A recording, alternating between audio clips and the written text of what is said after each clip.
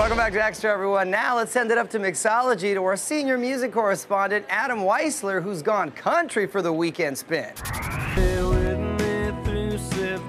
He's not from Nashville or Texas. Country troubadour Corb Lund is from the Great White North. In the western part of Canada, it's still very frontiersy and it's sort of untamed in a lot of ways. I'm from the Rockies. And the music on his new album, Cabin Fever, reflects that Canadian style. It's kind of a traditional, old-fashioned country music with a twist. And humor, his dream duet. I have a celebrity crush on Christiane Amanpour, the news anchor, but I don't think she sings. Yeah.